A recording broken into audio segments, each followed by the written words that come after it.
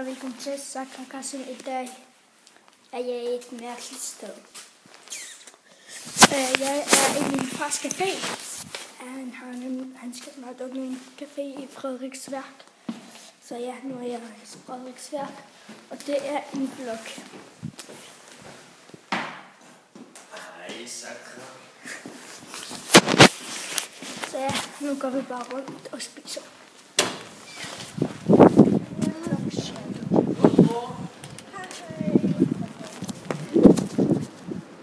Der er caféen, der er.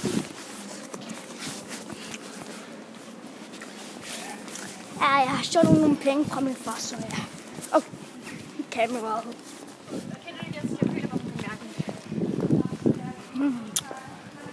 Mm, hvor skal vi hen? Øh, der er nogle søde piger derovre. Øh, det giver gratis bøjser. Så ja, nu skal jeg tilbage. For jeg var der lige ude lige før. Jeg skulle købe en stor viskeleder. Så fik jeg et gratis bøjse. Og det vil jeg gøre igen.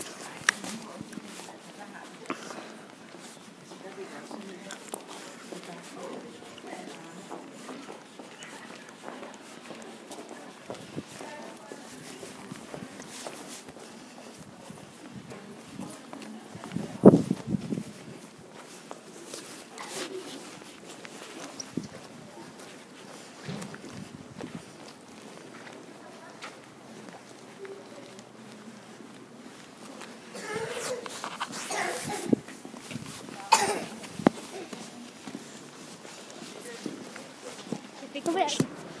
Og så fik det også penge. Typisk mig. Oh. Undskyld.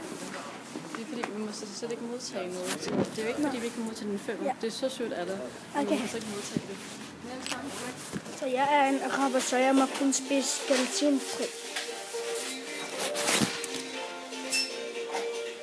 Se, der står gelatinfri, så det her må jeg gerne spise. Så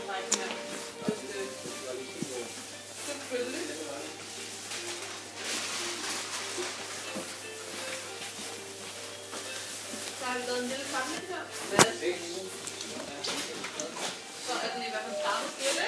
Værsgo, god weekend.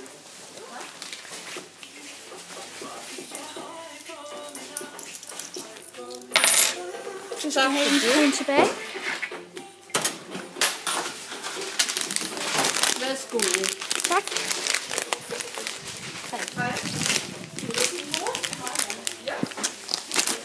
Til min øh, challenge.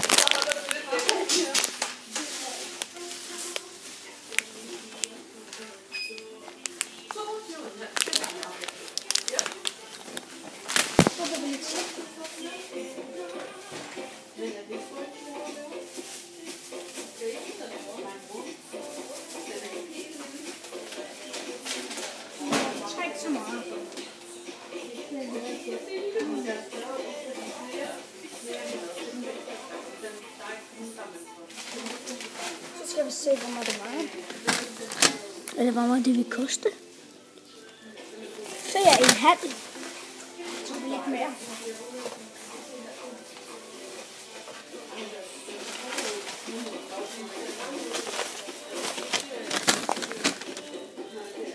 Åh, det er kroner. Det er fint.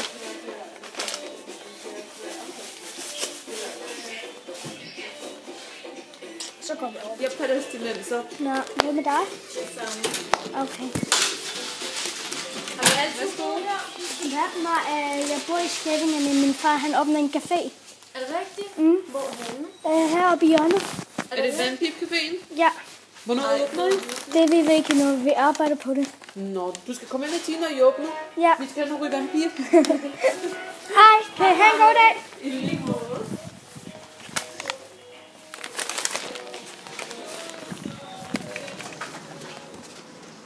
Okay. Så, for det mindste kan vi slik. Så ja, selvom det var en undskyldning video, og så blev det til en vlog. Hey, mit hår er mærkeligt. Mit hår er meget mærkeligt. Ja, det er sådan. Men det var faktisk sådan. vil komme, det vil komme i vores café, så Og det røg vandpip. Det var Palestina. Ja, det tror jeg, det sagde. Men det var sådan meget. Så husk at like, hvis den var god. Og subscribe, hvis jeg ikke har gjort det, men det tror jeg nok. Og det var det så søs. Hej, hej, en jul. Jeg tror ikke, at der kommer videoer i jul, så ses.